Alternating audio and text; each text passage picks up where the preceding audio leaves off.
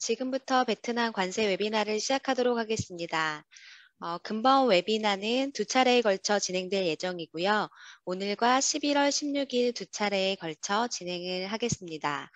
어, 근번에 발표를 해주실 한국서비스팀의 손원시 회계사님과 김선주 회계사님에 대해서 소개를 드리도록 하겠습니다. 어, 손원시 회계사님께서는 13년간 한국과 베트남, 유럽에서 근무하시면서 회계 감사 및 세무 관련 업무를 수행해 오셨고요. 김선주 회계사님께서도 13년간 한국과 베트남, 싱가폴에서 근무하시면서 회계 감사 및 어, 재무 자문 업무를 수행해 오고 계십니다. 저는 7년간 한국과 베트남에서 관세 심사 및 관세 자문 업무를 수행해 오고 있습니다. 어, 딜로이트 베트남 어, 관세팀은 재무부에서 설립한 최초의 회계법인으로서 재무부 관세총국 세무총국과 긴밀한 관계를 가지고 있고요. 각국에서 진출한 기업들의 관세 자문 및 AO 심사 등을 진행하고 있습니다. 어, 현재 하노이의 15명의 관세팀과 호치민 15명의 관세팀으로 구성되어 있기 때문에 어, 보다 원활한 서비스 제공이 가능합니다. 어, 현재 코비드 상황을 감안해서 보다 어, 합리적인 가격으로 서비스를 제공해 드리고 있으니 많은 관심을 부탁드립니다. 어, 지금부터 김선주 회계사님께서 EP에 대해서 발표를 해주시도록 하겠습니다. 구, 어, 들으시면서 궁금하신 내용은 Q&A 창에 남겨주시고 회사명과 담당자 분 성함을 남겨주시면 보다 원활한 팔로업이 가능할 것 같습니다. 감사합니다. 네, 안녕하세요. 딜로이 베트남 김선준 회계사입니다. 저는 오늘 수출 가공기업에 대해서 말씀드릴 예정인데요. 베트남은 수출 주도형 경제 개발 정책을 추진하고 있는 국가입니다. 따라서 대부분의 실제 한국 기업들도 내수 판매보다는 해외 수출을 목적으로 해서 베트남에 진출하신 경우가 많은 상황입니다. 어, 이런 수출 주도형 경제 개발 정책을 추진하고 있는 베트남에는 수출 가공 기업 EP라고 하는 그런 제도를 운영하고 있는데요. 특정한 요건을 갖추고 있는 회사들에 대해서 어, 관세, 관부가세 면제 및 그리고 어, 관세 절차상의 편의를 제공하고 있는 그런 제도입니다. 한국의 보세구역 제도와 유사하다고 보시면 될 것 같고요. 어, 실제로 82호 시행령에서 EP는 다음과 같이 정의하고 있습니다. EP는 export processing zone에 설립돼서 운영되는 기업이거나 아니면 산업단지 경제구역 내에서 수출용 제품을 제조하는 기업을 의미하고요. 그리고 EP 기업의 경우는 외부와 분리되도록 어떤 울타리를 비롯한 어떤 물리적인 그런 구분이 되어 있어야 하고 관세 조사 감독 관리에 대한 조건을 충족해야 합니다. 그리고 라이센스도 필요하고요. 관련된. 그래서 이 부분은 뒷페이지에서 설명을 자세하게 드리도록 하고요. 이 페이지에서는 우선 EP 기업의 혜택에 대해서 말씀을 드리도록 하겠습니다.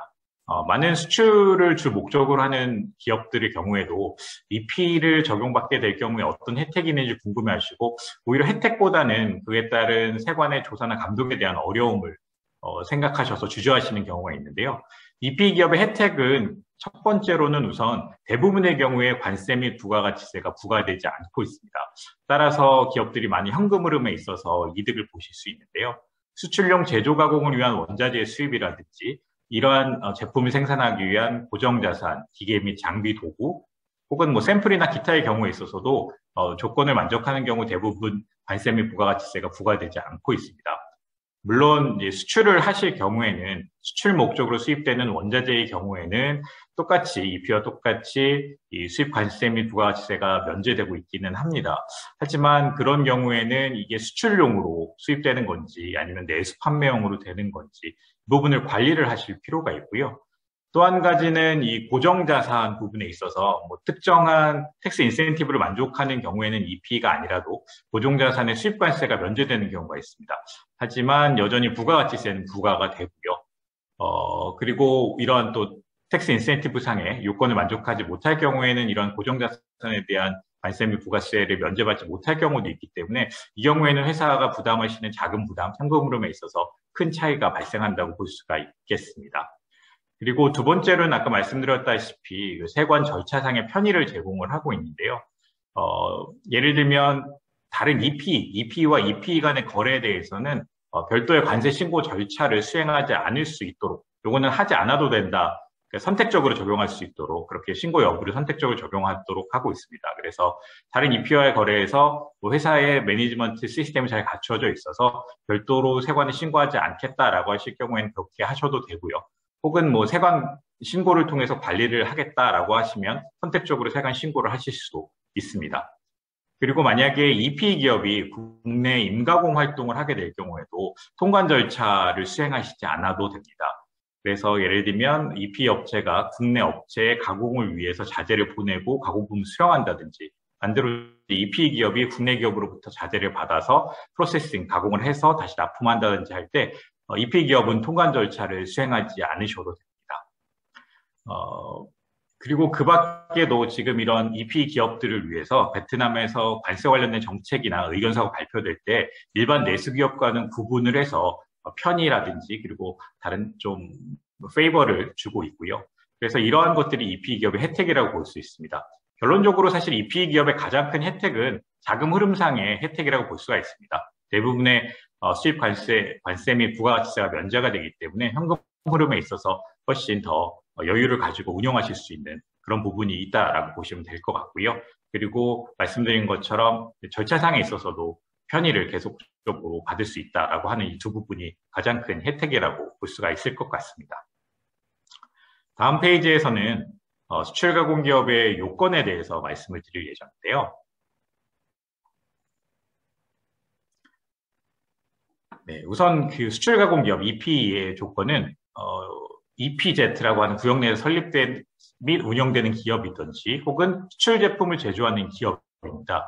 그래서 예전에 의견서에 따르면 이 제조 활동 중에 수출 제품이 차지하는 비율에 대한 내용이 있었던 적도 있었죠. 그때 75% 이상 뭐 이런 내용도 있었는데 이게 구체적으로 얼마만큼 이상 해야 된다라는 규정이 있는 건 아닙니다. 그래서 참고적으로 그 부분에 대해서는 고려를 하시면 될 것 같고요. 그리고 단순히 수출 제품만을 제조해야 되느냐라고 한다면 꼭 그렇지는 않습니다. 내수 활동, 내수 판매도 가능하고 그리고 특히 다음에서 말씀드리는 무역 활동, 베트남 내에서 trading 활동도 가능합니다. 다만 이런 경우에는 라이센스가 필요하시고요. 이런 trading 활동을 위해서 별도의 회계 장부를, 회계 기록을 유지 관리하셔야 하고 이 부분을 위한 별도의 물품 보관 장소나 혹은 지점을 가지고 있으셔야 됩니다. 어, 인허가 절차는 다음 페이지에서 더 자세히 설명을 드릴 텐데요. 크게 말씀드리면 우선 라이센스적인 측면에서 IRC상의 EP 기업이라고 하는 그런 부분이 필요하고 또 하나는 그렇게 전환하기 위해서는 세관의 감독 및 관리 조건을 충족해야 되는 그런 부분이 있습니다. 이 인허가 절차에 대해서는 다음 페이지에서 좀 더 자세히 설명을 드리도록 하겠습니다. 어, 기본적으로 EP가 되기 위해서는 어, 수출품을 제조, 가공하는 업체여야 하고 다음과 같은 요건을 만족을 해야 됩니다. 첫 번째로는 외부 공간과의 분리고 두 번째는 내부 관리 시스템을 갖추고 있을 것, 세 번째는 감시 카메라가 설치되어 있을 것입니다. 어, 외부 공간과 분리의 경우에는 어, 이 지역이 다른 지역, EP가 아닌 지역과 분리가 되어 있어야 한다. 그래서 펜스 등을 갖추고 있어야 하고 어, 출입문이 있어서 이 출입문을 통한 입출고가 모니터링이 100% 되어야 된다라는 조건인데요.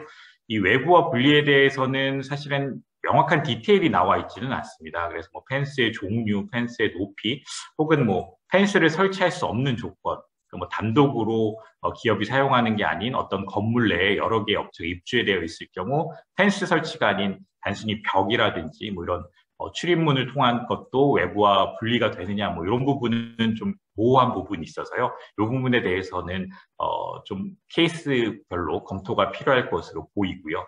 그또한 가지 요건은 내부적인 관리 시스템을 갖추고 계셔야 됩니다. 그래서 어, 이게 그, 그 관세 및 그 부가가치세를 면제를 해주고 있기 때문에 이 부분에 대한 관리가 잘 되고 있는지가 중요하기 때문에 어, 이 어, 내부 관리 시스템을 위한 어떤 데이터를 그 소프트웨어를 가지고 있어야 된다 그렇게 규정은 되어 있고요. 다만 이 경우에도 어떤 소프트웨어를 갖추고 있어야 되느냐 뭐 이런 디테일한 규정이 나와 있지는 않습니다. 그래서 뭐 이 관세 목적의 뭐 자체 개발한 시스템이라든지 아니면 뭐 ERP, SAP 등을 가지고 있으실 수도 있고요.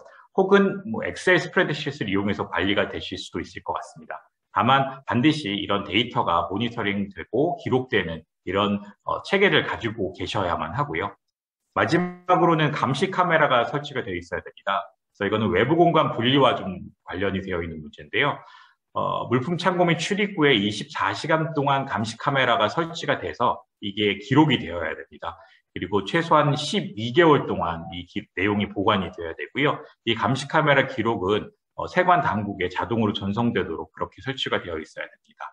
다만 이 감시 카메라 같은 경우는 어, 뭐 생산 구역이나 뭐 사무실, 식당 등에 대해 그런 지역에 있어서는 꼭 설치될 필요는 없고요. 결국에는 이 물, 물류의 흐름에 있어서는 감시 카메라라든지 외부 공간과 분리를 통해서 어, 이를 물리적으로 분리하고 그리고 내부 관리 시스템을 통해서 어, 소프트웨어적으로 관리를 하겠다라는 게 베트남 어, 세관 당국의 의, 의도라고 보시면 될 것 같습니다. 어, 다음으로는 EP 전환 과정에 대한 부분인데요. 어, 앞서 말씀드린 것처럼 어, 넌 EP가 EP로 전환하게 될 경우에는 두 단계를 거치게 됩니다.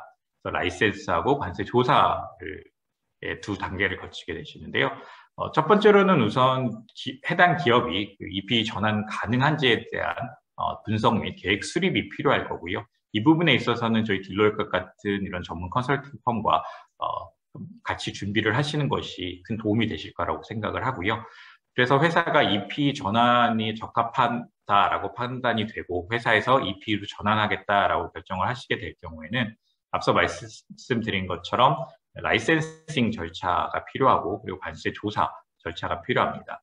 그래서 라이센스는 어, EP의 상태를 IRC에 반영을 하는 건데요. 현재 법규상은 이 어, IRC상의 EP 이 상태를 반영하기 위해서는 이 세관 쪽의 의견을 청취하도록 그렇게 하고 있습니다. 그래서 관세 조사를 거쳐야 하고요. 이 관세 조사에서 그럼 어떤 걸 보느냐라고 하면 앞서 말씀드린 세 가지 요건, 어, 외부와의 물리적인 센스 등을 통한 분리, 그리고 내부 관리 시스템, 그리고 감시 카메라 등을 중점적으로 보게 되고요.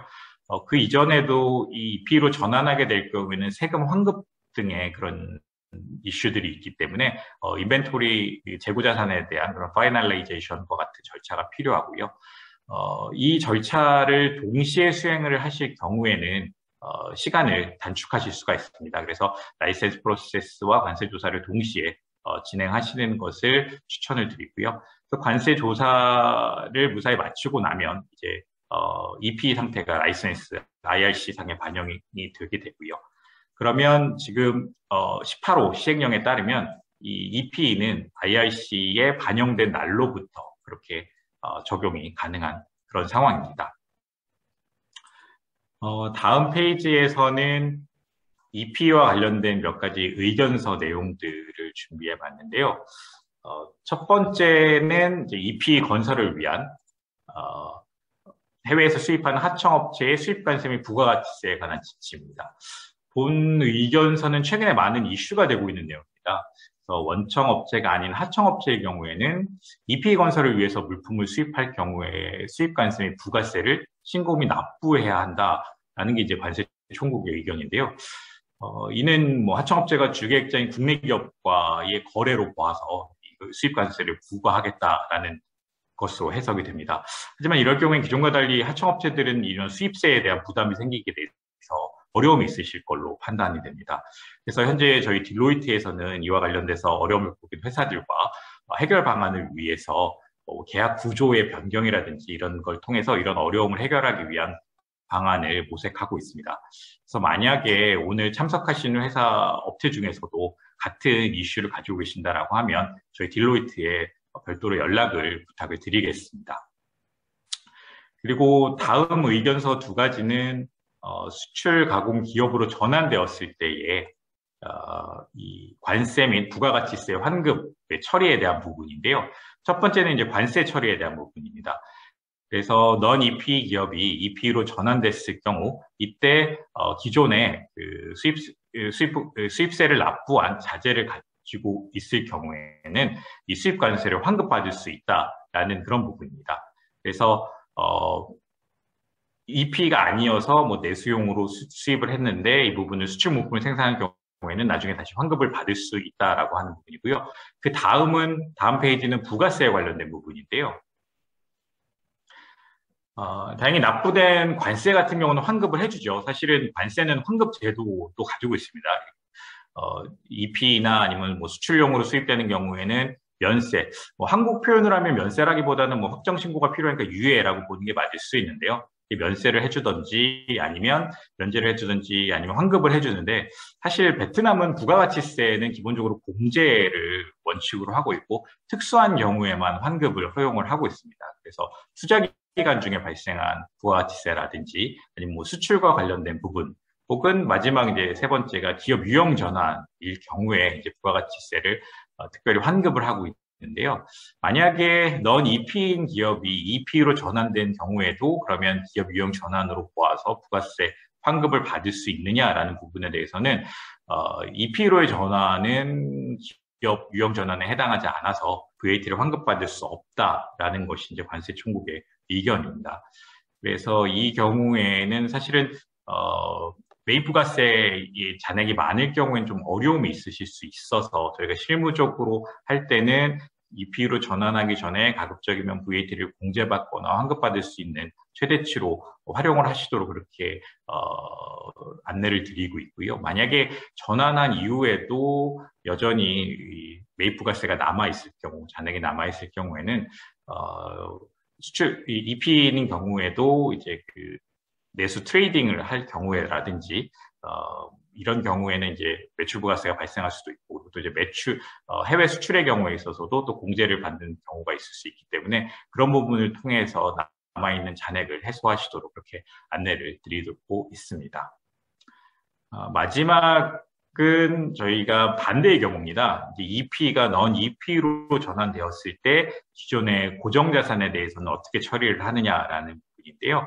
어, 이 경우에 만약에 EP일 경우에는 아까 말, 앞서서 말씀드렸다시피 이제 고정자산 어떤 뭐 기계장치라든지 이런 것들을 수입을 할 때 수입자가 면제가 되는데 만약에 넌 EP로 전환되면 어, 이 경우에는 다시 납부를 해야 되느냐라는 부분인데요.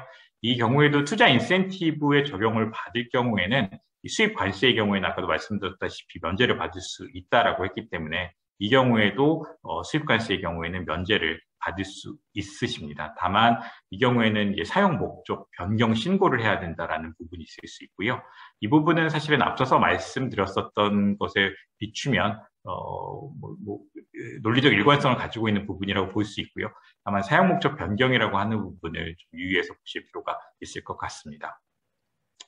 어, 이렇게 EP에 대한 간략적인 요건과 그리고 혜택에 대해서 말씀을 드렸는데요. 앞서 설명드린 것처럼 어, 수출 목적으로 기업을 운영하고 계시더라도 EP로 운영할 경우에는 어, 이런 혜택보다는 오히려 어려움이 더 많은 거 아니냐. 세관 조사나 뭐 심사 등이 더 어려움이 많은 게 아니냐 이렇게 걱정하시는 경우가 많은데요. 이 부분은 사실은 어, 이 확정 신고 부분과 좀 관련이 깊을 것 같고요. 이 부분은 뒤에서 박은실 관세사님이 설명을 더 자세하게 해 주실 예정입니다. 어, 저는 이상으로 발표를 마치겠고요. 이어서 저희 손원식 회계사님이 관세 환급 절차에 대해서 말씀드리도록 하겠습니다. 예, 안녕하십니까. 아, 딜로이트 베트남의 손원식 회계사입니다. 저는 어, 관세 환급과 관련한 내용을 좀 준비해 봤습니다. 일단은 어, 서두에서 김선준 회계사님이 예, 면제의 한 종류인 EP 제도에 대해서 설명을 드렸고요. 저는 어, 환급 받을 수 있는 음, 조항들이 있기 때문에 그 부분을 좀 정리해 봤습니다. 여섯 개로 크게 요약을 할 수 있는데요. 첫 번째는 어, 물량의 차이입니다. 수출 혹은 수입 시에 예, 각각 관세를 예, 납부하였는데 예, 실제 수입 혹은 수출된 물량이 신고서상의 수량과 다를 경우 환급이 가능하다 이렇게 규정하고 있습니다. 두 번째 케이스는 아, 재수입해야 되는 경우고 세 번째는 재수치라는 경우인데요. 요요두 가지 경우는 어, 어, 물건을 어, 어 예를 들어서 베트남에 있다가 아, 수출을 했습니다. 수출을 했는데 다시 베트남으로 원상복귀되는 경우 이렇게 재수입이라는 용어를 썼는데요. 재수입 이렇게 재수입됐을 때는 수출할 때 납부한 관세를 환급할 수 있고 원상복귀하는 베트남으로 돌아오는 재수입 시점에 관세는 부과되지 않는다. 아, 이렇게 이해하시면 되겠습니다. 그리고 아, 세 번째 경우는 마찬가지로 어, 해외에 있던 물건이 수입된 후에 다시 재수출됩니다. 여기 이건 해외에 있던 게 수출되는 재수출 원상복귀가 밖으로 돌아가는 거죠. 이렇게 원상복구가 밖으로 어, 될 때, 재수출될 때 관련 수출 부가세 납부 대상일 경우 수출 부가세가 면제되고 납부했던 음, 수입 시 납부했던 수입 관세는 어, 환급이 된다. 예, 이렇게 이해하시면 되겠습니다.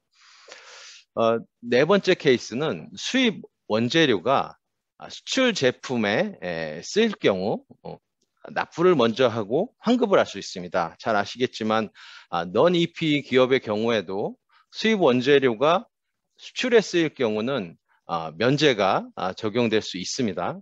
근데 이제 이 환급 케이스의 경우에는 기업에 따라서 수출 제품이 있고 국내 베트남 내에 판매하는 제품이 있을 경우 수입할 때 이 원재료가 내수용인지 수출용인지 구분이 어렵기 때문에 일단 납부를 하고 환급 절차를 진행하는 케이스가 있을 수 있겠습니다.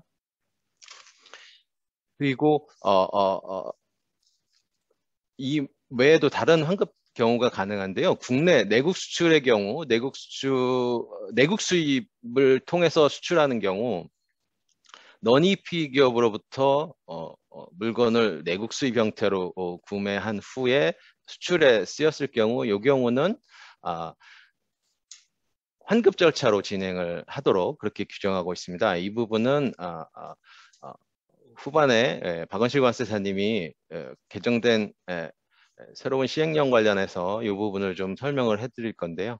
이렇게 환급이 필요한 경우가 있다. 그래서 수출에 사용되는 원재료의 경우에도 환급이 가능하고 어, 이 이러한 환급으로 어, 수입 원재료에 대한 관세를 처리하실 경우에도 여전히 예, 그 관세 확정 어, 보고서는 필요합니다. 확정 보고서라는 것은 수입된 원재료가 수출된 원재료에 사용되었다는 BOM 역산을 통해서 그 증명하는 서류라고 이해하시면 되는데요. 그런 서류는 역시 이 경우에도 필요하겠습니다.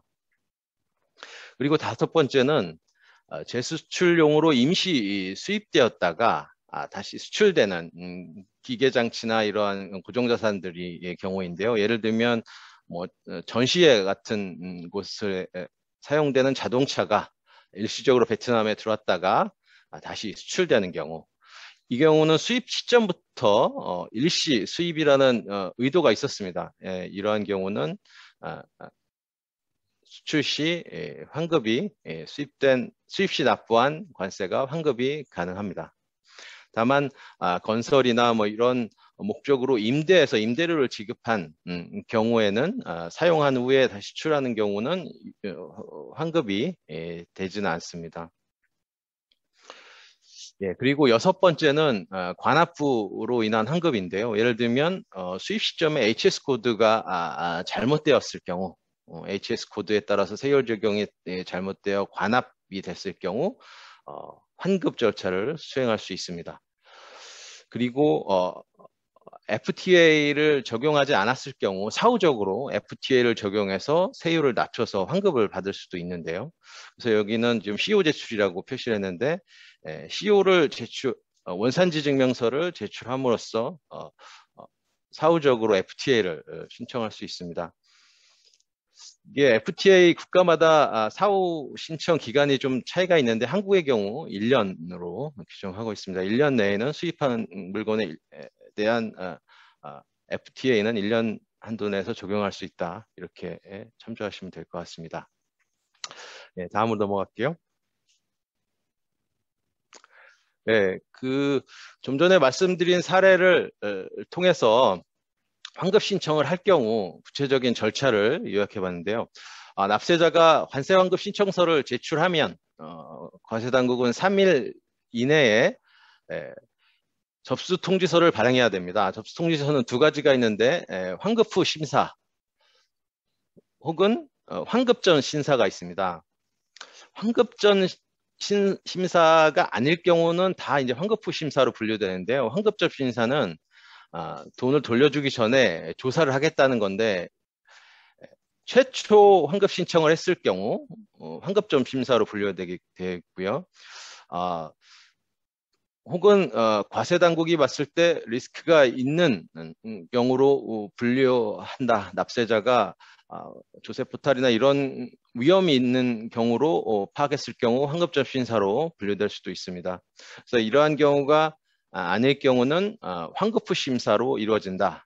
환급이 먼저 일어난 후에 조사가 이루어지고요. 환급 후 심사로 결정된 경우에는 6근무일 이내에 환급을 수락하거나 아니면 자료가 부족할 경우 자료 요청을 더 하고 어, 어, 필요시 환급전 심사로 전환될 수도 있습니다.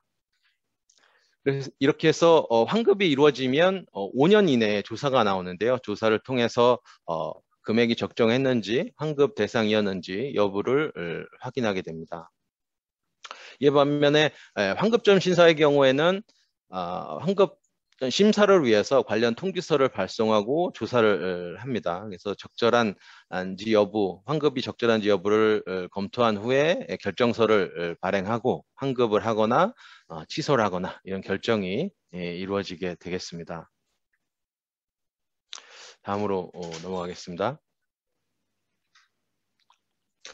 다음은 VAT 관련 사례인데요.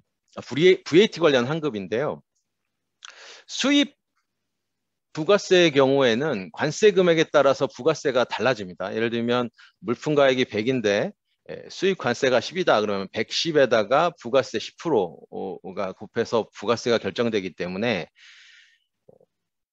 관세가 달라지면 VAT 수입 부가세도 같이 달라지게 됩니다. 그래서 같이 환급이 이루어지게 되는데요. 그래서 부가가치세 부분도 같이 여기서 정리를 해봤습니다. 일반적으로 어, 부가세, 베트남에서 부가세가 환급되는 경우는 음, 크게 에, 에, 두 가지로 요약할 수 있을 것 같습니다. 첫 번째는 투자 기간에 에, 최초, 최초 법인 설립 시에 투자 기간에 발생한 매입 부가세는 환급이 가능합니다. 돈으로 돌려주는 게 가능하고요. 그, 두 번째는 수출하는 음, 품목에 대한 매입 부가세는 어, 역시 환급이 됩니다.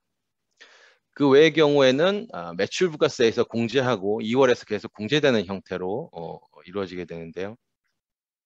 그래서 어, 수출 제품이 있을 경우, 수출 매출이 있을 경우 해당 매입 부가세는 어, 매출 부가세와 상계 후 3억 동 음, 이상일 경우 어, 환급이 이루어지고요.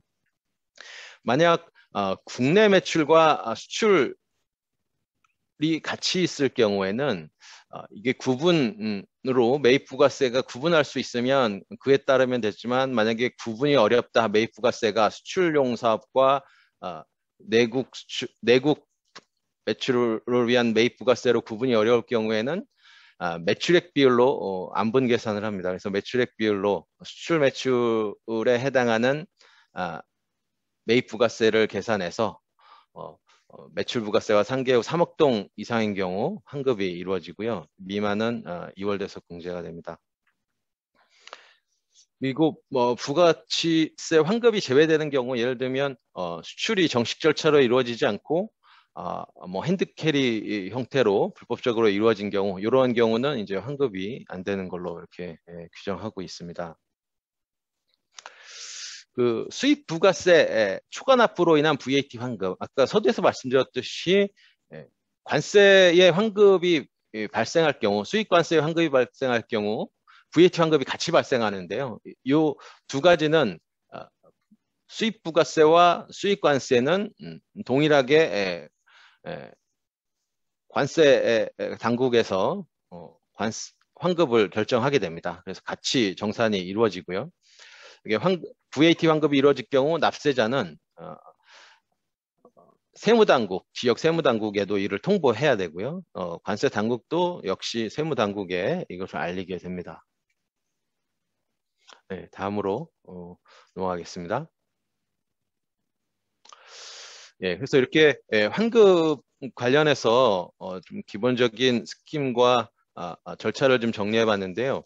아, 다음 장은 어, 저희가 최근에 발행한 오해를 좀 살펴봤습니다. 첫 번째 오피셜 레터의 내용은 수리를 위해서 재수입한 경우였는데요. 어, 수입 재수입이다. 재수입이라는 것은 베트남에 있다가 수출했다가 다시 원상 복규된 제, 한, 베트남으로 다시 원상 복규된 경우인데 이 경우는 아까 말씀드렸듯이 원상 복구될 때 베트남으로 복구될 때 수입 부가세는 납부가 면제되고 어, 수출할 때 혹시 수출 부가세 대상이었으면 그, 아, 수출 관세 대상이었으면 그 부분이 환급이 되는 그런 스킴이었는데요. 아, 여기서 오피셜 레터에서 말씀하는 거는 아, 말했던 거는 아, 제수입 시 해당 물품이 해외에서 미사용되고 추가 가공되지 않았어야 아, 아, 환급이 된다 이렇게 이야기하고 있습니다. 그래서 어, 미, 재수입과 아, 재수출의 경우는 기본적으로 어, 미사용, 미가공 조건이 있어야 된다. 아, 해외에서 어, 어, 떤 어, 사용이라든지 가공이 돼서 다시 수입되면 이제 다른 물건이 되기 때문에 예, 이 환급 스킴이 적용되지 않는다 이렇게 이해하시면 되겠고요. 그리고 동일한 물건인지 수출된 건지 확인하기 위해서 물리적 검사도 필요하게 됩니다. 두 번째 오피셜 레터인데요. 관세 환급에 관한 아, 아, 지침이라고 저희가 제목을 붙여봤는데 이 경우에는 어, 이 경우는 어, 수량이 달랐을 때 예, 환급 서두에서 말씀드렸듯이 예, 실제 예, 수출입품에 대한 수량이 신고서상의 수량과 다른 것을 발견했을 때 환급이 가능하다를 확인해 주고 있는데요. 관련 신청 서류는 18호 시행령 의 부록을 쓰도록 이렇게 규정하고 아, 아, 확인해주고 있고요. 관세 환급 절차는 아, 시행규칙 6호를 따르도록 그렇게 확인해주고 있습니다. 참조로 말씀드리면 이렇게 수량이 차이가 발생한 것으로 인한 환급을 받기 위해서는 제3자로부터 수량 확인을 증명할 수 있어야 됩니다. 이게 수량이 실제 수량과 신고서상의 수량과 다르다는 것을 제3자 확인하는 업체가 있는데 그 업체로부터 확인을 받아야 아, 아, 환급이 가능합니다. 그래서 어, 경우에 따라서는 그 업, 그렇게 제3자 수량을 확인하는 제3 업체가 기업에 상주하는 경우도 어, 음, 봤습니다. 예, 다음으로 넘어가겠습니다. 다음 official letter는 재수출인데요. 재수출. 아, 베트남에 수입됐다가 다시 수출된 네, 네, 경우 관세 환급인데요. 역시 이 경우도 재수입과 마찬가지로 베트남에 수입된 음, 이후에 미사용이 되어야 되고 미가공이 되어야 아, 관련 아, 환급이 가능하게 됩니다.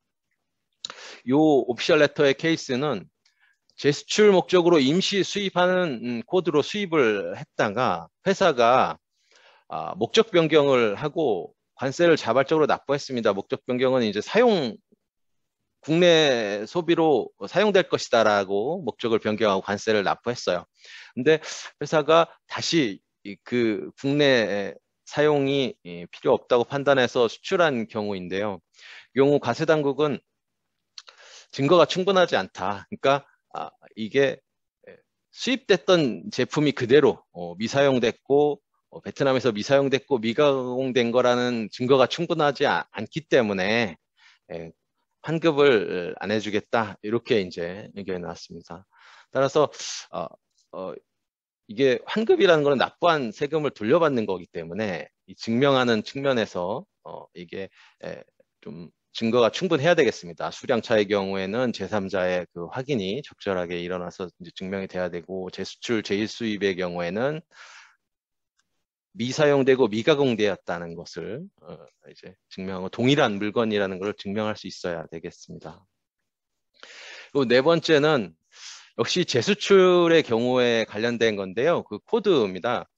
그 재수출 됐을 때 예, 수입할 때 코드는 어, 목적에 따라 아, 하시면 되는데 재, 재수출 될 때 환급을 위해서는 어, B13 코드를 써야 됩니다. 어, B11 코드 경우에는 판매 목적으로 해외 수출하는 코드에 해당하기 때문에 예, 환급이 되는 재수출일 경우에는 B13 코드를 써야 된다. 이렇게 예, 안내를 하고 있습니다. 이상으로 어, 관세 환급에 대한 음, 설명은 음, 마치겠고요. 다음으로 어, 박은식 관세사님께서 어, 어, 최근에 개정된 시행령 18호 어, 관세법 개정 시행령에 대해서 좀 설명을 할 예정이고 아울러 어, 관세 확정 신고에 대해서 설명을 할 예정입니다. 감사합니다. 네, 안녕하세요. 박은실 간사입니다. 아, 저는 지금부터 시행령, 개정 시행령 18호 및 정상 관련된 내용에 대해서 어, 설명을 드리도록 하겠습니다. 어, 이번에 개정된 시행령 18호는 시행령 134호를 개정한 내용인데요.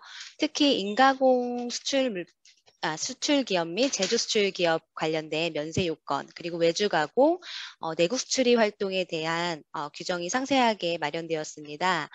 어, 먼저 인가공 수출 기업 및 제조 수출 기업에 대해서 이해를 하시고 계시면 좋을 것 같아서 간단히 설명을 드리도록 하겠습니다. 어, 제조 수출 기업은 원자재를 수입해서 수출물품을 생산한 후에 수출하는 기업이고요. 인가공 수출 기업은 인가공 계약 하에서 원자재를 수입해서 인가공 물품을 생산한 후에 수출하는 물품입니다. 아, 수출하는 기업입니다. 어, 제조 수출 기업과 인가공 수출 기업은 뭐 수출이 행위에 있어서는 거의 유사하다라고 볼 수 있는데 어, 가지고 있는 계약 종류가 어떤 것이냐에 따라서 제조 수출 기업이 될 수도 있고요. 그다음에 인가공 계약 을 갖고 있는 경우에는 인가공 수출 기업이 될 수 있습니다. 어, 제주 수출 기업과 인가공 수출 기업의 면세 요건을 좀 살펴보면요. 거의 유사하면서 동시에 좀 차이가 있습니다. 먼저 어, 두 기업 종류에 있어서 어, 동일하게 가지고 있는 면세 요건은 어, 먼저 보시면 생산시설 기계 장비에 대한 소유권 및 사유권을 가지고 있어야 되고요. 이러한 생산시설에 대해서 관세 당국에 통보를 하셔야 되고 가지고 계신 계약에 대해서 통보를 하셔야 됩니다. 어, 만약 위탁, 위탁 가공 계약을 가지고 있는 경우에도 그러한 어, 계약 내용에 대해서 관세 당국에 통보를 하셔야 되고요. 어, 뒤에서 설명드릴 어, 위탁 가공 계약 관련된 요건을 충족하고 계셔야 됩니다. 어, 그리고 원자재를 수입하셔서 수출 물품을 생산한 후에 어, 수출을 하는 음, 데 사용하셔야 하겠습니다. 어, 특히 인가공 수출 기업 같은 경우에는 추가적으로 관세 면제 어, 요건이 있는데요. 인가공 계약이 당연히 존재하셔야 되고요. 이러한 계약 내용이 사전에 세관 신고서상에 어, 명시, 즉 신고가 되셔야 되겠습니다.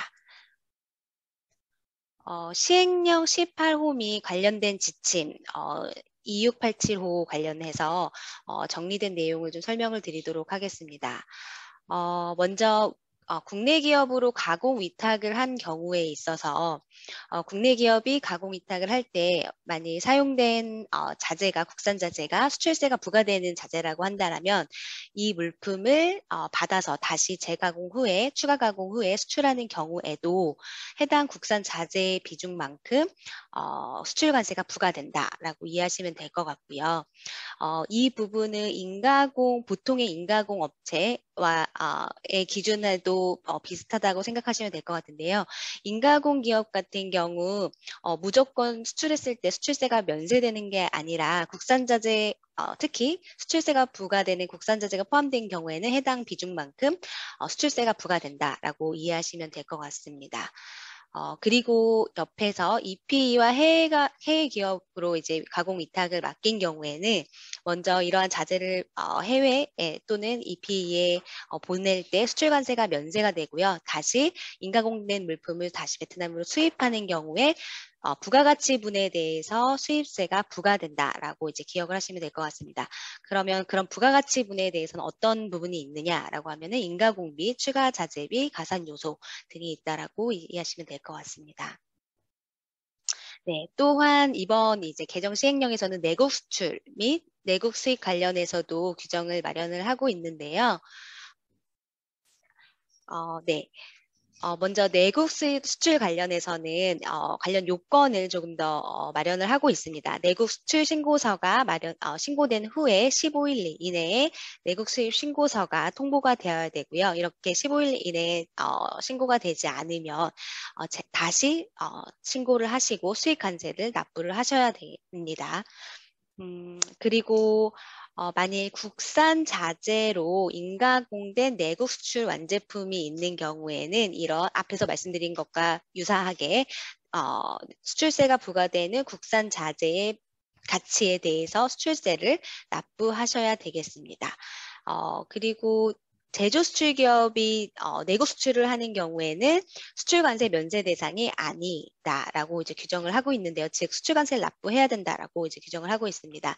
어, 이 부분은 이제 내국 수출뿐만이 아니라 일반 수출을 할 때에도 제조 수출 기업 같은 경우에는 수출세를 납부하시고 수출을 하셔야 되겠습니다.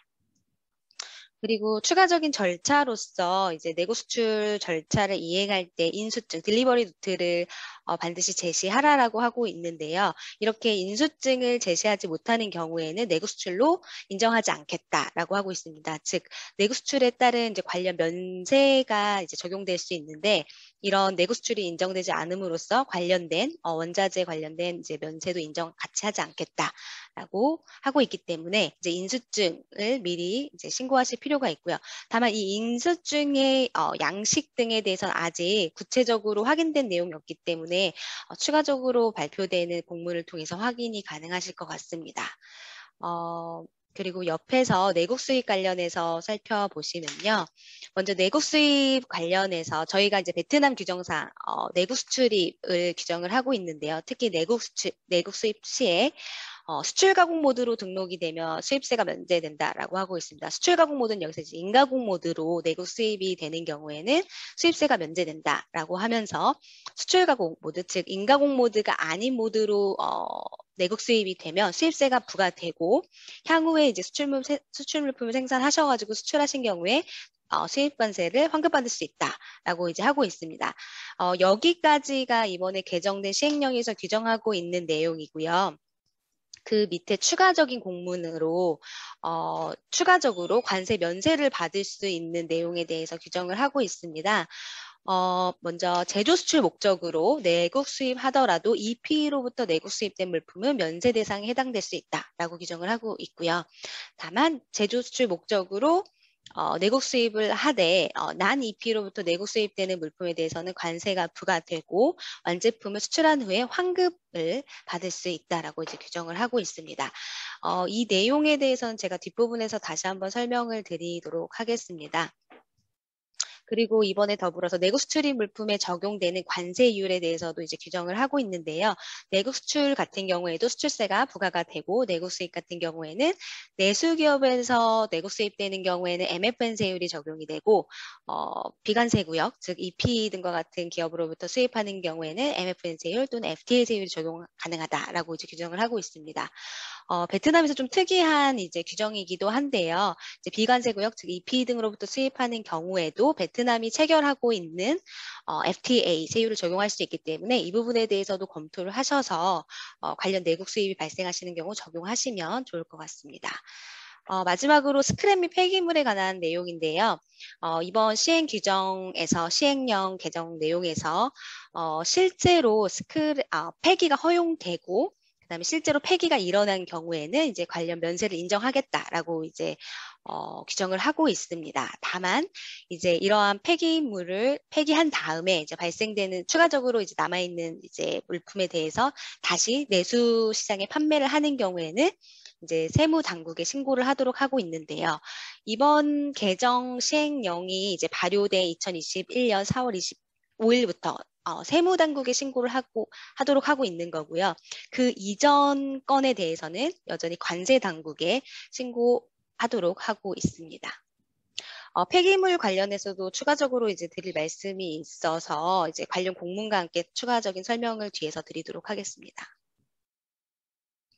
어, 앞에서 말씀드렸던 어, 내국 수입 관련된 이제 면세와 관련된 부분인데요. 인가공 모드로 수입되는 경우에는 이제 면세가 된다라고 이미 이제 확정을 지었기 때문에 추가 이제 논란의 여지가 없는데 이제 인가공 모드가 아닌 제조 수출 모드 같은 경우에는 이제 이렇게 구분을 하고 있습니다. 이 구분된 부분에 대해서 살펴보시면 어, 이제 납품하는 회사가 이제 EP인 경우가 있고요. 난 EP인 경우가 있는데, 이제 EP인 경우에는 세금을 면세를 적용을 하겠고, 어, 납품하는 기업이 난 EP인 경우에는 어, 수익관세를 부과하고 이제 요건을 충족을 하면 환급을 받으실 수 있다라고 이제 규정을 하고 있습니다.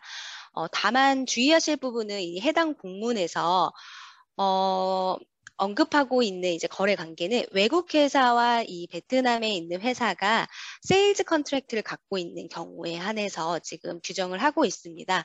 따라서 이제 베트남에서 규정하고 있는 간접 수출입, 즉 어, on-spot export에 대해서는 어, 외국 회사와 베트남 회사가 sales contract뿐만이 아니라 processing contract를 갖고 있는 경우에도 저희가 이렇게 물품을 건네는 경우 어, indirect export, 즉 어, on-spot export라고 하는데 어, 이제 해당 시행, 아, 해당 지침에서는 우선 sales contract에 관련된 어, 내국 수입 업체에 대해서만 이제 규정을 하고 있기 때문에 어, 외국 회사와 이 베트남 회사 간에 갖고 있는 계약이 만약 임가공 계약이라고 한다면 어, 추가적인 검토가 필요할 것으로 생각이 됩니다. 네, 이번 개정 시행령에서 또 한 가지 중요한 내용은 어, 외주 가공에 대한 내용인데요. 어, 그동안 시행령 1345에서 외주 가공이 특히 제조 수출 기업에 대해서 외주 가공이 이제 허용되지가 않았던 부분이 있었는데 이 부분을 허용을 하면서 추가적인 어, 요건을 좀 마련을 하고 있습니다. 따라서 어, 좀 설명을 드리면요. 먼저 어, 수입 자재를 수입을 해서 자, 원자재를 수입을 해서 생산된 반제품을 전부 또는 일부를 위탁 가공을 맡기고 어, 반제품 및 완제품을 받아서 수출하시는 경우에도 어, 관련 면세를 적용받으실 수 있고요. 이러한 면세는 인가공 수출기업 및 제조 수출기업에게 모두 적용이 됩니다. 그리고 수입된 원자재의 전부 또는 일부를 위탁 가공 맡긴 후에 반제품을 납품받아서 추가적으로 완제품을 생산한 후에 수출하는 경우에도 인가공 수출기업 또는 제조 수출기업 모두 면세를 인정을 하고 있습니다. 어, 그리고 수입된 원자재의 일부를 맡기고 완제품을 받아서 납품받아 수출하는 경우에도 인가공 수출기업 그리고 제조 수출기업 모두 면세를 어, 적용할 수 있도록 하고 있고요. 어, 원자재의 전부를 맡기고 완제품을 납품받아서 수출하는 경우에는 인가공 기업 같은 경우에는 별도의 요건 없이 이제 허용을 하고 있지만 제조 수출 기업의 경우에는 어, 이런 외주 가공을 준 업체가 이런 외주 가공을 받은 업체의 자본금 또는 보통주의 50% 이상을 소유하고 있도록 하는 요건을 마련을 하고 있습니다. 지금 이번 이번 네 번째 케이스에서는 원자재의 전부를 맡기고 완제품을 받아서 수출하는 경우이기 때문에 어, 해당 기업에서 그 외주 가공을 준 기업에서 추가적인 가공이 없는 케이스를 지금 의미하고 있는 거고요. 저희가 보통 이해하시기에 전부 외주 가공을 줬다라고 이해하시는 부분입니다. 그리고 마지막으로 이제 해외 또는 EP 업체에 이제 위탁 가공을 주는 경우 이런 이제 위탁 가공을 줄 당시에 자재를 송부할 당시에는 수출 관세가 면세가 되고요. 그 다음에 다시 위탁 가공 후에 수입되는 경우에는 추가 가치에 대해서 어, 좀 전과 마찬가지로 어, 어떤 인가공비나 아니면 추가된 자재 비용에 대해서 이제 수입 관세가 부과된다라고 이해하시면 될 것 같습니다. 어, 관련된 오피셜 레터에 대해서 좀 살펴보면요. 어, 중요한 내용일 수 있을 것 같은데요. 생산시설이 없는 경우 인가공 목적 수입 물품에 대한 과세에 관한 지침입니다. 어, 제가 앞에서 인가공 기업 또는 어, 제조 기업 같은 경우 자재 전부를 맡기고 완제품을 받아서 수출을 해도 어, 면세가 인정이 된다라고 했는데요. 지금 인가공 기업이 이렇게 전부를 외주 가공 주는 경우 일지라도 어, 관련 가공시설 및 기계 장비에 대한 소유권 및 사용권을 가지고 있고 이에 대해서 관세 당국에 통보를 해야지만이 관련 면세를 적용받을 수 있다라고 지금 어, 규정이 나왔습니다. 아, 그 지침이 나왔습니다. 즉 어, 전부 외주 가공을 주는 경우에도 생산 시설 및 장비가 없다라고 하면은 그리고 이런 내용에 대해서 관세 당국에 통보할 수 없다라고 하면은 면세를 적용하지 않겠다라고 하고 있는 거고요.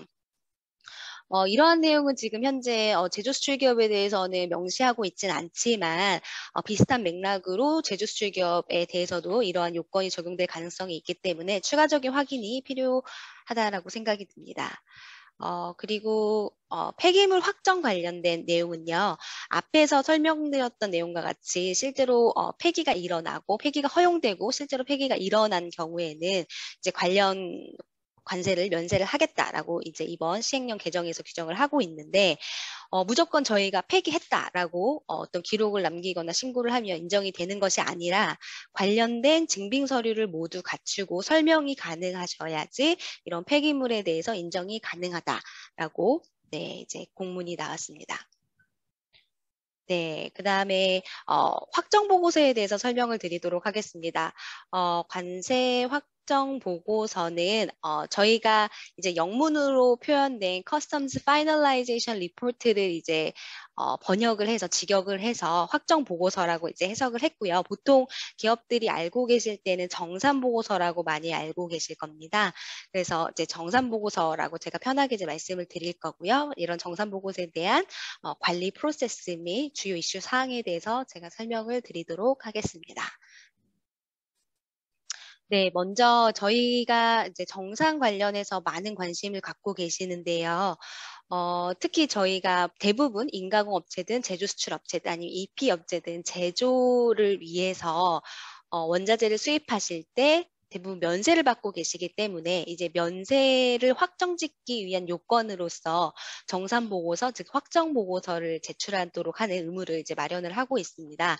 어, 정확하게 말씀을 드리면 인가공업체 제조 수출 업체는 어, 관세를 면세를 면제 또는 면세를 받고 있는 거고요. 그다음에 EP 업체는 비과세 처분을 받고 있는 겁니다. 그래서 어, 하지만 이제 비슷한 성격이기 때문에 저희가 보통 통틀어서 이제 면세라고 이제 지칭을 하게 되는데 이런 정산 보고서 작성을 위해서는 어, 생산 계획부터 그 다음에 수출하기까지 모든 단계에 있어서의 데이터 및 프로세스 관리가 필요한 상황입니다.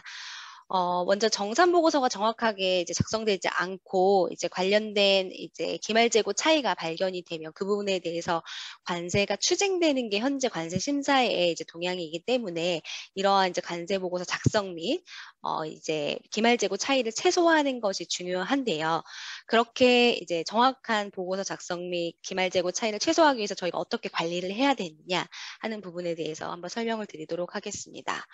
어, 먼저 저희 이제 내부 프로세스상 보통 어, 원자재를 수입을 하시게 될 거고요. 이런 원자재를 이제 창고에 입고를 하시고 입고하신 상태에서 목적에 따라서 어, 이제 생산을 위한 목적으로 출고를 하시는 경우도 있고 기타의 목적으로 출고를 하시는 경우도 있으실 수 있을 것 같습니다. 그다음에 이렇게 이제 생산을 위해서 출고된 물품이 생산 라인에 투입이 돼서 물품을 생산한 다음에 이제 다시 완제품 창고에 이제 입고가 되고요. 이렇게 생산된 완제품 또한 이제 수출 목적으로 출고가 되는 경우가 있고 또 다른 목적으로 어, 용도가 변경되거나 하는 등의 목적으로 출고가 되는 경우가 있을 수 있겠습니다.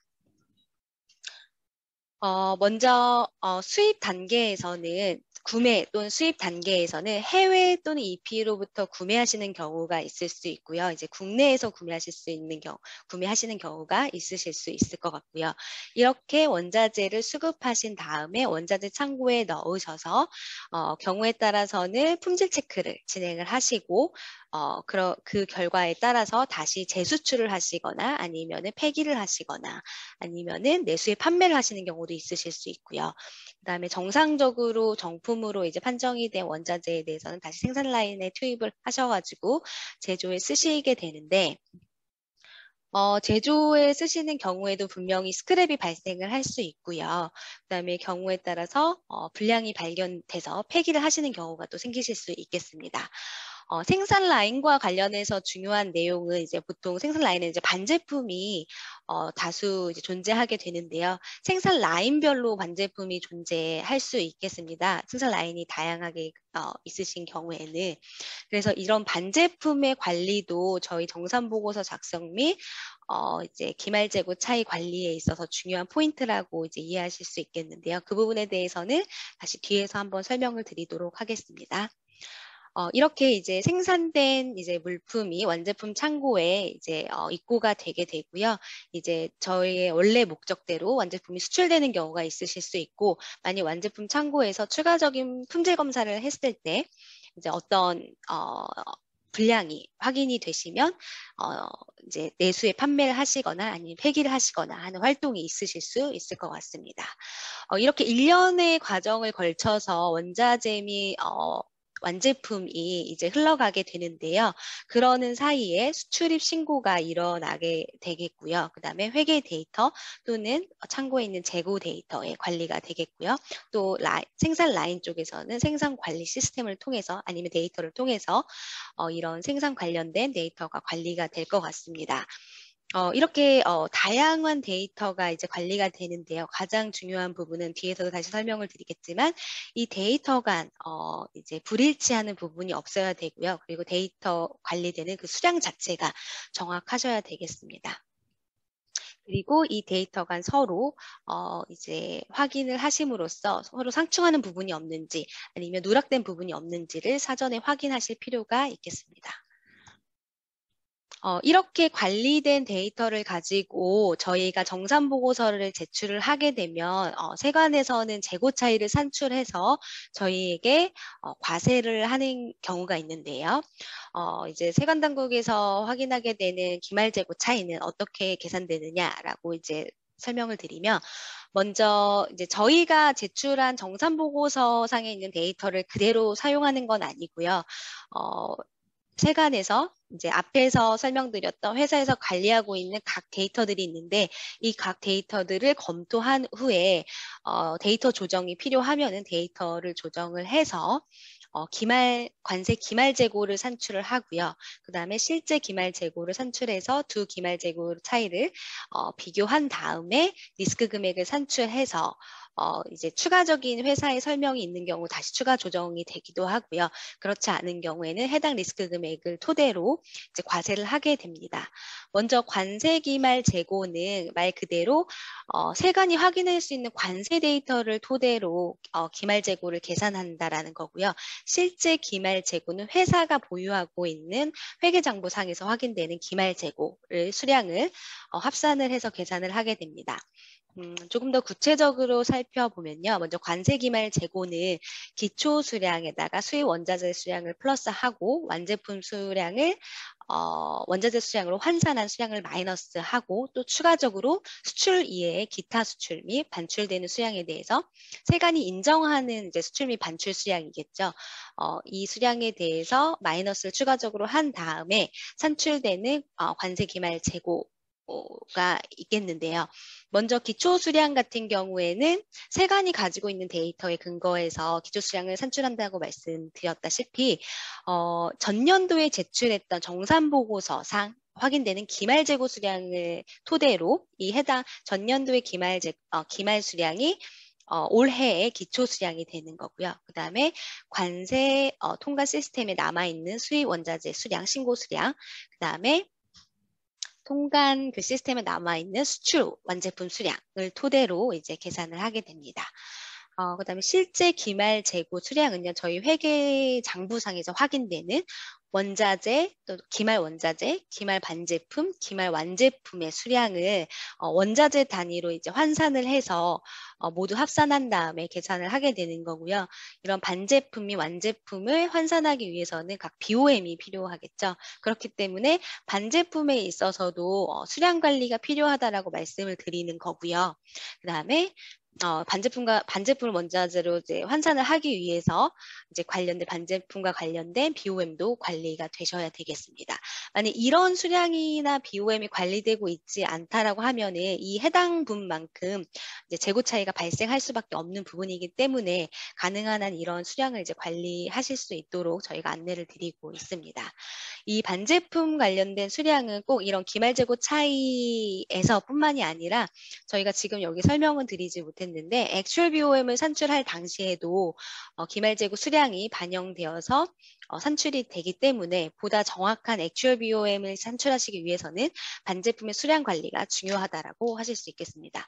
만일 각 라인별로 반제품 수량을 관리하시기가 어렵다라고 하신다면은 정산 보고서 관리 목적 또는 어, 기말 재고 차이 관리 목적 으로라도 필요한 최소한의 한도 내에서 반제품 수량 및 BOM의 관리가 필요하다라고 이해하시면 될 것 같습니다. 어, 이렇게 산출된 어, 기말 재고 차이가 경우에 따라서는 플러스일 수도 있고요. 경우에 따라서 마이너스일 수도 있는데요. 예전에는 이 플러스 그리고 마이너스 분에 대해서 모두 관세를 추징을 했었습니다. 그러나 이제 작년부터는요, 추가적인 공문에 의해서 이제 어떻게 어, 처리를 할 것인지에 대해 보다 이제 구체적으로 명시를 하고 있는데, 먼저 마이너스 부분에 대해서는 관세 당국이 사유를 확인할 수 있던 아니면 확인할 수 없던 세금을 추징하겠다라고 하고 있고요. 플러스 분에 대해서는 관세 당국이 사유를 확인할 수 있는 경우에 한해서 어, 관세를 추징하겠다라고 하고 있고요. 사유를 확인할 수 없는 경우에는 추징하지 않겠다라고 하고 있습니다. 어, 다만 이런 부분에 대해서 추징하지 않겠다라고 한 부분에 대해서는 추가적인 입증이 필요한데요. 그 부분에 대해서 대해서는 제가 뒤에서 다시 한번 설명을 드리도록 하겠습니다. 네, 이렇게 이제 재고 차이가 발생할 수 있다라고 말씀을 드렸는데 재고 차이가 발생할 수 있는 주요 원인에 대해서 한번 이제 살펴보도록 하겠습니다. 이제 앞에서 말씀드렸다시피 재고의 흐름이 수입 단계부터 생산, 수출 단계로 이제 이루어진다라고 말씀드렸는데요. 각 단계별로 어, 떠한 원인에 의해서 재고 차이가 발생할 수 있는지에 대해서 설명을 드리도록 하겠습니다. 먼저 수입 단계에서는 어, 내부 관리상의 이제 이슈이던 아니면 단순 오류에 의해서 입고 수량 및 수입 신고된 수량이 상이한 경우가 있습니다. 어, 이제 보통 은 인보이스 상에 신고된 이제 기재된 수량과 이제 실제로 수취하게 되는 수량이 다른 경우가 있는데요. 그런 경우에 이제 재고 차이가 발생할 수 있고요. 그 다음에 실제로 입고는 하였으나 원자재가 입고는 되었으나 세관 신고가 되지 않은 경우에 어 이제 재고 차이가 발생할 수 있는데 이런 경우는 보통 어 특송 등에 의해서 수입 신고하는 경우에 물품은 입고되었으나 세관 신고는 진행하지 않았을 때 이런 원인이 발생하게 됩니다. 그렇기 때문에 특송으로 혹시 급하셔서 물품을 받으시는 원자재를 받으시는 경우라고 할지라도 반드시 어 이런 통관사에 어, 인폼을 하셔서 세관 신고가 어, 이루어질 수 있도록 관리하실 필요가 있겠고요. 어, 그 다음 마지막으로는 무통관 입고분인데요. 이 두 번째에서 말씀드린 거는 어, 세관 신고가 누락된 부분인 건데 세관 신고를 해야 되는 걸 누락된 부분인 건데 이 세 번째에서는 어, 합법적으로 세관 신고를 하지 않아도 된다. 특히 이제 EP와 관련해서 이제 선택적으로 어, 하도록 하는 경우가 있는데요. EP 같은 경우 어, 이렇게 이제 신고를 하지 않고 수입 또는 입고를 할 수 있을 때에 그런 입고분에 대해서도 이제 정확한 관리가 필요하시다라고 이해하실 수 있겠습니다. 어, 그리고 생산 단계에 있어서는요, 이제 원자재가 보통 수입되는 경우도 있지만 내수에서 구매되는 경우가 있습니다. 이렇게 수입되는 원자재와 내수에서 구매되는 원자재를 구분 없이 사용 하는 경우에는 여기서 구분 없이라는 건 이제 코드의 구분을 이제 의미하는 거고요. 코드를 구분하실 수 없는 경우일지라도 이제 회계 장부상에서 어떠한 이제 음, 마크를 통해서 구분을 해주셔야 되는데 이런 구분 없이 어, 일괄로 입고 또는 출고를 어, 네, 인식하시는 경우에는 어, 이런 재고 차이가 발생할 수 있습니다. 왜냐하면 이제 내수에서 입고되는 물품은 어, 정산 보고서 의 대상이 아니기 때문에 이러한 구분을 사전에 해주시지 않으면은 이제 이러한 수량이 어, 함께 이제 정산 보고서에 이제 녹아 들어가기 때문에 이제 저희의 수량과 맞지 않게 되는 부분이 있고요. 그리고 앞에서 말씀드렸 있었던 것처럼 반제품에 대해서 관리를 하고 있지 않으신 경우가 많으신데 반제품의 수량 또는 어, BOM이 어, 관리가 되셔야지 가장 정확한 정산 보고서 작성 및 액츄얼 BOM 산출이 가능합니다. 그다음에 또한 외주 가공 관련해서도 어, 이출고를 정확하게 기재를 해주셔야 되고요. 관련 문건이나 증빙 서류를 남겨두셔야 되겠습니다. 음, 그리고 technical BOM에 대한 이제 내용은요. 어, technical BOM 자체가 이제 부정확한 경우가 있고요. 부정확하다라는 거는 코드가 이제 오류가 있거나 아니면 소요량 자체가 정확하게 산출이 되지 않은 경우가 더러 있을 수 있고요. 그다음에 technical BOM도 이제 수시로 업데이트가 되는 경우가 있는데 이런 업데이트가 어, 적절하게 반영되어서 관리되어 있지 않다라고 한다면 저희가 나중에 어, 이런 액츄얼 BOM이나 어떤 이제 갭을 산출을 했을 때 정확한 BOM이 선, 어, 사용될 수 없기 때문에 이제 그로 인해서 기말재고 차이가 발생할 수 있겠습니다.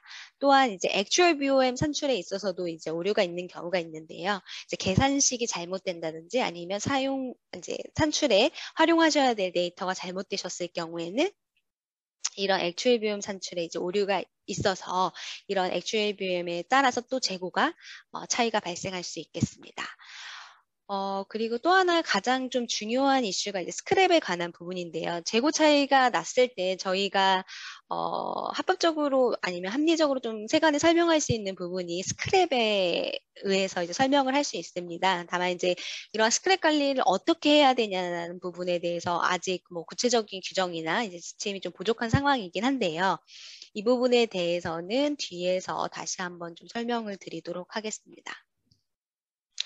네, 그리고 어, 수출 단계에서도 원자재와 유사하게 완제품 출고량이 수출 수량하고 이제 불일치하는 경우가 있고요. 일부 누락하시는 경우나 아니면 코드 오류 때문에 이런 불일치가 발생하기도 합니다.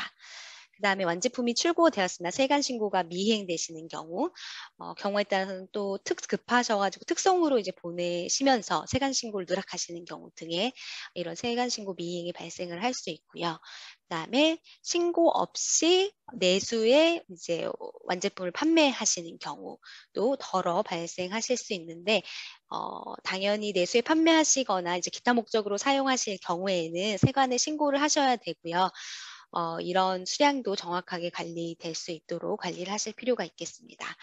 그 밖에 이제 기타 출고된 완제품에 대해서 이제 관리가 필요하다라는 부분인데요. 저희가 정상적으로 생산에 투입되고 그리고 투입한 후에 수출되는 물품에 대해서는 크게 이슈가 없으실 거예요. 저희가 보통 재고 차이가 발생되는 거는 기타 입출고에서 발생을 하게 됩니다. 원자재에서도 발생을 할 수 있고요. 어, 수출 물품, 즉 완제품에 대해서도 발생을 할 수 있는데 어, 이렇게 기타 출고, 어, 보통은 재수출되거나 내수로 사용되거나 아니면 어, 용도 용도를 변경하시거나 용도를 변경하신다는 것은 수출 이외의 목적으로 사용하시는 게 이제 용도 변경이 되시는 거고요. 어, 이렇게 이제 출고가 되시는 경우에는 각 출고 목적별로 데이터를 관리하셔야 되고 관련 입증 서류를 준비를 하셔서 세간에 설명하실 수 있도록 준비하실 필요가 있겠습니다. 내부 관리 측면에서는 어, 저희가 이제 보통은 세관 코드와 회사에서 내부에서 사용하시는 코드가 다른 경우가 많은데요.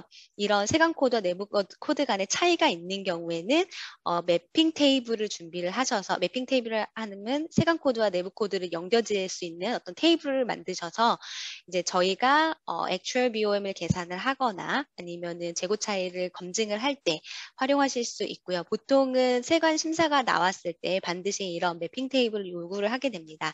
그렇기 때문에 사전에 저희가 준비를 하셔서 저희 내부 관리 목적상으로도 이, 이 mapping table을 사용하셔서 검증을 하시면 어, 도움이 되실 것 같고요. 또 하나는 이제 대체 코드 관련된 이슈입니다. 꼭 대체 코드뿐만이 아니라 어, 세관의 코드가 하나인데 내부 코드가 여러 개이거나 세관 코드가 여러 개인데 내부 코드가 하나인 경우도 있고요. 그 다음에 어, 하나의 물품을 생산함에 있어서 어, 여러 개의 원자재를 바꿔가면서 대체해서 쓰시면서 쓰실 수 있을 때 이제 저희가 대체 코드라고 불리긴 하는데요. 사실 이 대체 코드에 대해서는 이제 베트남 현행 규정상으로는 인정하고 있거나 어떠한 관리 지침에 대해서 안내된 부분이 없습니다. 다만 이제 실무적으로 이제 대체 코드 를 쓰실 수밖에 없는 경우에는 이 부분을 어떻게 관리하시고 어, 떻게 세관에 설명하실지를 사전에 좀 점검을 하시고 준비하실 필요가 있겠습니다. 네, 그 다음에 입출고 관리를 위한 내부 프로세스 구축이 이제 미흡한 경우, 이제 앞에 말씀드렸다시피 이제 입출고의 종류별 입출고 유형별로 수량 및 어, 이제 관리가 필요한데 어, 이러한 이제 관리에 관한 내부 프로세스가 어, 제대로 마련되어 있지 않으면은 이제 관리가 제대로 되게 어려워서 이제 재고 차이가 발생할 수 있고요. 그 다음에 정부 부, 아, 회사 부서 간의 정보 공유가 제대로 되지 않은 경우에는 부서 간에 가지고 있는 데이터가 상이하실 수가 있습니다. 따라서 어, 뭐 분기별로 아니면 일정 기간별로 각 부서 간에 어, 갖고 계시는 이제 데이터를 검증 및 확인을 하실 필요가 있겠습니다. 네, 이제 재고 차이를 해결하기 위한 솔루션인데요. 앞에서 제가 이제 이슈상을 말씀드리면서 대부분의 내용을 설명을 드린 것 같고요. 어, 나머지는 다 설명을 드린 것 같고 재고 차이 확인에 대해서 이제 간단히 좀 설명을 드리면은 이러한 이제 내부 프로세스 상에서 이제 수량 및 어, 관리하셔야 될 부분이 굉장히 많은데 이런 부분을 심사, 어, 3, 4년에 한 번씩 있는 심사 때에 한꺼번에 관리하시기에는 굉장히 어렵습니다. 그렇기 때문에 어, 분기별 아니면 특정 기간별로라도 어, 이런 재고 및 어, BOM에 대해서 수시로 검토를 하시고 점검을 하시고 재고 차이도 사전에 분석을 해보시고 이런 재고 차이가 발생하는 원인에 대해서 어, 파악을 하신 다음에 내부 프로세스를 개선하시는 데에 활용을 하 시면 도움이 되실 것 같습니다. 네, 관련된 이제 오피셜 레터에 대해서 좀 설명을 드리도록 하겠습니다. 어, 먼저 첫 번째 그 공문은요. 어, EP가 세관 신고 없이 밖으로 물품을 반출한 다음에 화재로 인해서 재고가 소실된 경우에 어, 기존에 있었던 그런 재고에 대해서 인정이 되느냐라고 하는 부분인데요.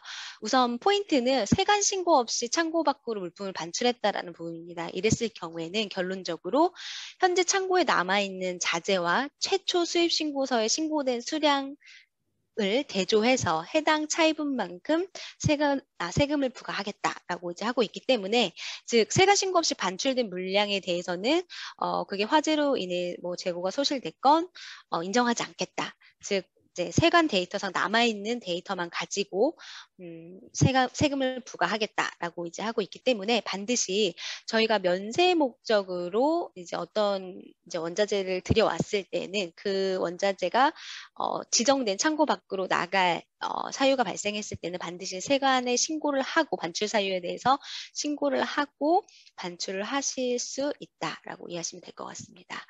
그다음에 앞에도 말씀을 드렸지만 플러스 재고 차이에 대해서는 원인을 파악할 수 없는 경우 과세하지 않겠다라고 하고 있는 거고요. 다만 이제 이렇게 과세하지 않는데 무조건 과세하지 않겠다라는 건 아니고요. 어, 플러스 재고 차이의 원인에 대해서 어, 회사가 설명을 하도록 하고 있습니다. 만약 수출이 됐다라고 한다면 회계문서를 제공을 해야 되고요. 여전히 창고에 보관된 수량이다라고 한다라고 하면은 서면 확인서를 제출을 해서 어, 다음 연도에 사용을 해서 수출품 생산 후에 수출을 할 예정이다라는 식의 서면 확인서를 제출을 해야 어, 플러스 재고에 대해서 과세하지 않겠다라고 이제 하고 있습니다. 만약 세관 신고 오류로 파악이 된 경우에는 여전히 과세를 하겠다라고 하는 입장입니다. 어, 그리고 또 한 가지 중요한 이제 공문이 최근에 확인이 되었는데 10월 8일 날에 확인된 거라서 다소 최근에 이제 공문인데요. 폐기되어야 되는 물품에 대한 관세 처리입니다.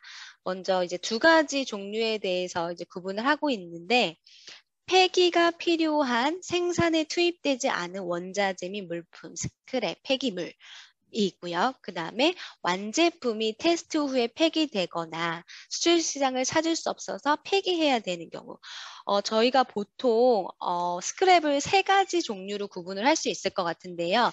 먼저 생산에 투입되기 이전에 발견된 어, 네, 스크랩인 엔지, 보통 NG material이라고 하는데 원자재가 이제 불량이 난 경우 원, 불량 원자재, 그 다음에 생산 과정 중에서 확인되는 스크랩, 생산 공정 중에 이제 발생하게 되는 스크랩, 그 다음에 생산이 다 되고 완제품 음, 품질 검사 단계에서 확인되는 완제품 불량 이렇게 거의 세 가지 정도로 이제 스크랩을 구분을 할 수 있을 것 같은데요. 특히 생산 공정 중에 발생되는 스크랩에 대해서는 이제 인정하겠다라고 하고 있기 때문에 그 부분에 대해서 논란의 여지가 없는데 과연 생산에 투입되기 전에 발생한 이제 불량 원자재 그리고 완제품의 형태가 되어 있는 불량 어, 완제품 또는 이제 테스트 후에 폐기가 되어야 되는 이 완제품에 대해서 어떻게 처리를 할 것이냐에 대한 이제 내용이라고 이해하시면 될 것 같습니다. 음, 이러한 폐기 물품에 대해서는요, 우선은 인정하겠다. 관세를 인정, 면세, 면제가 된다. 수익 관세가 면제가 된다라고 이제 하고 있습니다. 그렇기 때문에 이제 인정이 된다라고 볼 수 있는 부분이고요. 다만, 어, 폐기 후에 재사용을 하기 위해서 국내 시장에 판매할 경우에는, 어, 시행 개정 개정 시행령에 나와 있는 것처럼 세무당국에 신고를 하고 어, 이제 판매를 할 수 있다라고 하고 있습니다. 어, 이렇게 이제 원자재 단계 또는 이제 완제품 단계 불량 제품에 대해서 폐기가 인정된다라고 하고 있지만 음, 앞에 말씀드렸던 것처럼 폐기에 대해서 적절한 입증이 필요한 거고요. 특히 해당 공문에 이제 보시면은 폐기가 필요하거나 반드시 폐기를 해야 된다라는 이제 어떤 설명이 덧붙여져 있기 때문에 반드시 폐기가 필요한 물품이었는지 아니면 피, 폐기가 필요한 물품이었는지에 대한 어, 입증의 이제 이슈가 남아 있다라고는 이해하실 수 있겠습니다. 그래서 기업이 무조건 폐기했다라고 해서 이제 세관이 모두 다 어, 면세로 인정을 해줄 것이냐라고 하기에는 좀 서, 그렇게 설명하기엔 좀 어려울 것 같고요. 관련된 입증이 적절하게 수행되는 경우에는 이제 어, 원자재 수준의 이제 폐기물품 또는 완제품 단계의 폐기물품에 대해서도 관세 면제를 인정을 하겠다라고 하고 있습니다. 어, 단서로서 이제 국내 폐기를 위한 사전, 아, 국내 판매를 위한 사전 폐기의 경우에는 수익 관세가 면제되지 않는다라고 하고 있기 때문에 어, 국내 판매를 하기 위해서 임의로 폐기를 하는 경우에는 파, 의미로 폐기를 했다라고 판단되는 경우에는 면제를 해주지 않겠다라고 하는 부분도 이제 명확히 하고 있고요. 한 가지 유의하실 부분은 이제 해당 공문은 어, 제조 수출 기업에 대해서 이제 어떤 어, 회신을 준 내용이기 때문에 제조 수출 기업에 대해서 우선 이러한 어, 판단이 내려, 졌다 이렇게 이해하시면 될 것 같고요. 다만 인가공 기업에 대해서 언급을 하고 있지 않지만 이전에 나왔던 공문에 의해서 어, 유사하게 지금 제조 수출 기업과 유사하게 원자재 단계 또는 제품 수준의 어, 폐기물에 대해서 어, 면세를 인정하고 있다라고 이해하실 수 있겠습니다. 재차 강조를 드리지만 어, 재고 차이에 대해서 이제 스크랩 등으로 이제 입증을 하실 수 있는 부분이 분명히 있고요. 다만 이제 스크랩이 모두 다 인정이 되는 것이 아니라 회사가 적절한 어, 입증 자료에 의해서 이제 소명하실 수 있는 경우에 어, 이런 재고 차이에 대해서 폐기물로서 입증을 하실 수 있는 기회가 생기셨다라고 이해하시면 좋을 것 같습니다.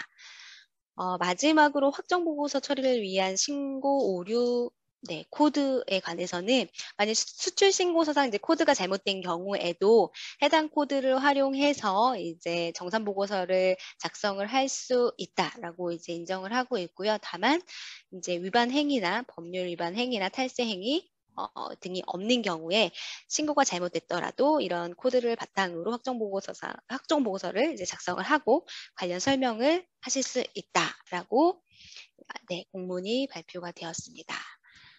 네, 이상으로서 어, 이제 발표를 마치고요. 저희가 Q&A 시간을 가질 건데요. 어, 현재 Q&A 창에는 아직 Q&A를 남겨주시진 않으셨던 것 같아요. 어, 그래서 사전에 저희가 웨비나를 접수하면서 어, 질의를 해주셨던 내용에 대해서 이제 몇 가지 답변을 좀 드리려고 합니다. 만약 이 시간에 답변을 못 드리는 내용에 대해서는 저희가 개별적으로 연락을 드려서 어, 답변을 드릴 예정입니다. 어, 먼저 FDI와 EPE의 차이점에 대해서 이제 물으신 부분이 있으셨는데요. 아마 FDI라고 표현하신 부분이 난EP, 즉 EP가 아닌 일반 기업을 의미하시는 것 같고, 그 다음에 EPE의 차이점에 대해서 물으신 것 같으세요.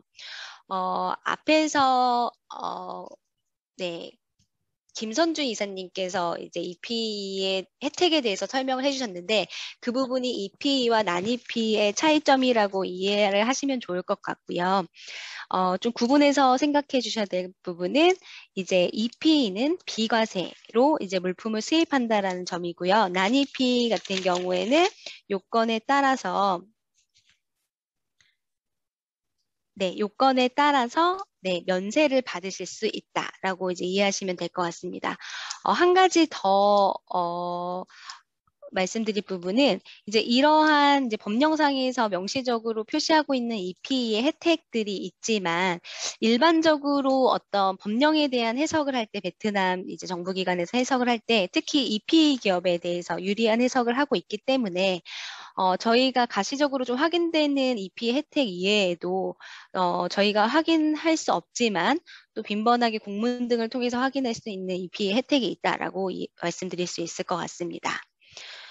어, 그리고 기타 출고, 특이 출고에 대해서 이제 문의를 하신 부분이 있으셨는데, 특이 출고, 기타 출고는 이제 보통 생산 목적으로 입출고 되는 거 이외에 이제 다른 목적으로 입출고가 되는 부분을 이제 의미할 거고요.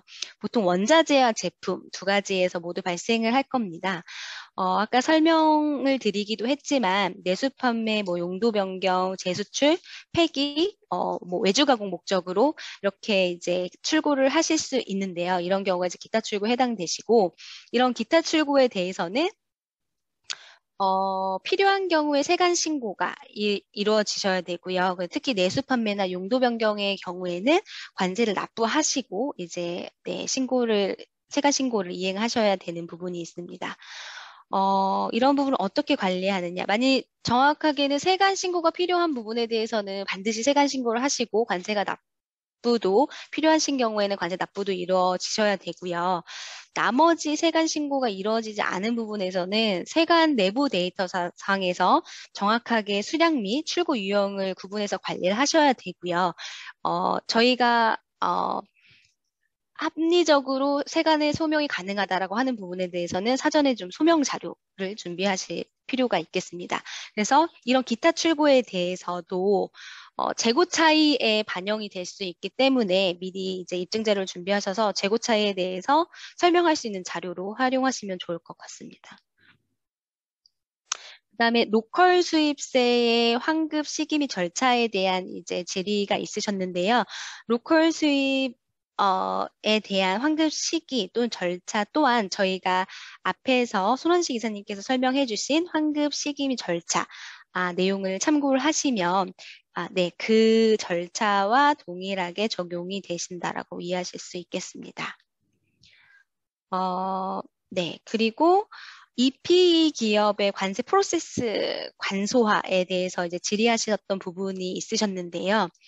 어, 먼저 저희가 면세자재를 쓰고 있기 때문에 면세자재에 대해서 어, 요구되는 이제 사후 관리 차원에서의 정산 보고서 작성 등의 이제 의무가 있는데요. 어, 사실 정산 보고서를 작성하고 재고 차이를 확인하는 그 자체가 어, 많은 이제 업무를 요구하고 있기 때문에 어, 어떤 간소화가 사실은 어, 가능할 것 같지는 사실 않습니다. 다만 어, 심사가 나왔을 때 그 당시에 이제 대응하기에는 어, 대응이 잘 되지 않는 부분도 있고 어, 이제 네, 많은 리스크가 노출될 수 있기 때문에 사전에 어, 이러한 이제 정상과 관련된 업무를 어, 내부 프로세스를 좀 구축을 하셔서 효과적으로 좀 관리를 하시고 누락되는 수량 또는 누락되는 이제 입출구 유형이 없도록 데이터가 없도록 어, 이렇게 내부 프로세스를 사전에 좀 구축하시는 게 어, 좀 이런 관세 관련된 업무를 어, 좀 간단히 처리하실 수 있는 방법이 아니실까라고 하, 는 생각이 네, 듭니다. 그 다음에 추가적으로 저희 손원식 이사님께서 네, 추가 질의에 대해서 답변을 드리도록 하겠습니다.